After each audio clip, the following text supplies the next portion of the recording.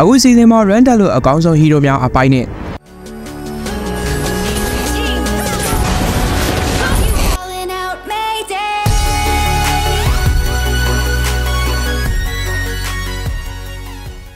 အားလုံးပဲမင်္ဂလာပါ One Shot 7 Gaming ကနေပြန်လည်ကြိုဆိုလိုက်ပါရယ်ဒီနေ့မှာတော့ run တက်လို့ကောင်းတဲ့ဟီးရိုများအပိုင်းနှစ်ကိုတင်ပြပေးပါမယ် VPN လေးခံကြည့်ပေးခြင်းအဖြစ်လဲ channel လေးကို support ပေးနိုင်ပါတယ်ဗျကဲဒါဆိုရင်ကျွန်တော်တို့ရဲ့အစီအစဉ်လေးကိုစလိုက်အောင်ပါ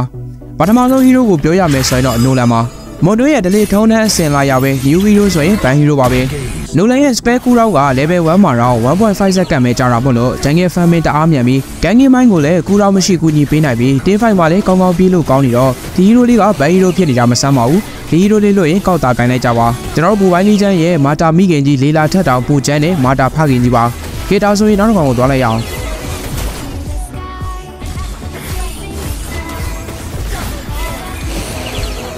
နောက်တစ်ကောင်ကတော့မစ်လေယာတူဖြစ်တဲ့ဟီးရိုတွေကအရက်ရှေ့ဆုံးဟီးရိုစိုက်ကလော့လေးပါပဲတတိမထားမိကြတာကစိုက်ကလော့ကိုအရင်စီဇန်ထဲမှာဘတ်ပေးထားတာပါ spare ban ratio ကြီးကရှယ်မိုက်တာကြောင့်သွေးတက်နှုန်းကြီးကလည်း damage ကိတ်ပြီးသွေးရှက်တတ်ပါမယ်သူ့ကို buff ထားတဲ့ပုံစံမျိုးက main fighter ဝင်ပြီးတော့လုပ်လို့ရပါတယ်ကောလိုမျိုးပဲသူ့ကို spare ban daylight လေးဆက်ပြီးသွေးရှက်တတ်မယ်အခုစီဇန်မှာ scale 2ကိုတော့ရဲ့ movement speed ကိုလည်း50%မြင့်ပေးထားတာမို့လို့ညှို့လို့တာအကောင်းမဲ့ hero ဖြစ်လာမယ့်အပြင်အမြင်ကဆရာဂျပူတော့တော့ထပ်တိုးလာမှာပါ ဒါကြောင့်ဟီးရိုအပစ်နေပြီးဆိုလိုရုံးမှုမေးရှိရိုးလိုနေရဆိုရင်စိုက်ကလော့ကိုရွေးချယ်တင်ပါတယ်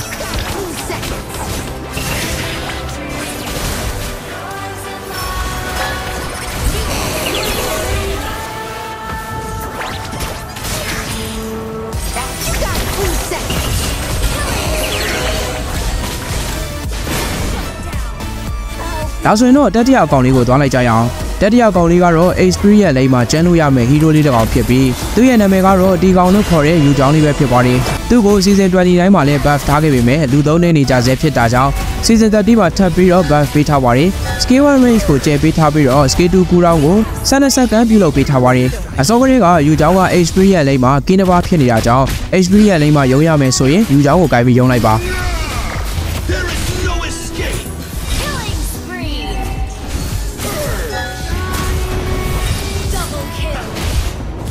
ကဲဒါဆိုရင်တော့၄កောင်မြောက်လေးကတော့ RAM နဲ့က hero တစ်ကောင်ဖြစ်တဲ့ Raphael ပါသူမကတော့အရင် update မှာ scale 2က purify လိုမျိုးလုံးလောက်တာကြောင့် day fight တွေမှာတော်တော်လေးထောက်ကူပြုလာတယ်လို့ပြောလို့ရတယ်ပြီးရင်သွေးတက်နှုန်းကြီးကိုလည်း magic power ရှင့်ရှိသလောက်နဲ့ရာဂိုင်နှုန်းတွက်ပေးတာဆိုတော့ဖန်ရခတ်ပြီးသွေးဖြစ်ကျန်းတဲ့ hero တစ်ကောင်ဖြစ်လာပါမယ်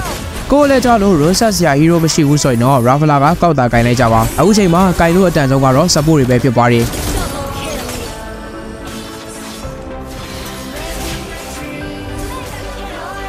ဒါဆိုရင်တော့နောက်ထပ်9កောင်မြောက်ဟီးရိုးဖြစ်တဲ့ဂိုးလိပ်ပါနေပြီးရုံးလို့ကောင်းမဲ့ဟီးရိုးလေးတစ်ကောင်ကိုထပ်ပြောပြပါမယ်။သူကတော့မယ်လီဆာပါ။မယ်လီဆာကိုအရင်က attack speed shot ရှပြီးတဲ့နောက်မှာလူကိုင်နေလာပါတယ်။ဒါပေမဲ့မွန်တွန်းကမယ်လီဆာကို attack speed ratio လေးမတိမသာပြန်ပြီးတော့ buff ပေးထားပါတယ်။မတိမသာဆိုပေမဲ့လေကင်းရောက်ရင်တော်တော်ကြီး damage ကွာထွက်သွားမှာမို့လို့ဆိုလိုရုံးပြီးဂိုးလိပ်နာဆော့မဲ့သူတွေအနေနဲ့မယ်လီဆာကိုရွေးချယ်တင်ပါတယ်။ ကဲပရိသတ်ကြီးဟီးရိုးလေးတွေကတော့မကုန်သေးပါဘူးနောက်ထပ်အပိုင်းဆက်မှာတင်ပေးဖို့ရှိပါသေးတယ်ပရိသတ်ကြီးတို့ရောအခုပြောခဲ့တဲ့ဟီးရိုးတွေနဲ့ red တင်လို့ကောင်းမယ်လို့ထင်ကြလားဗျ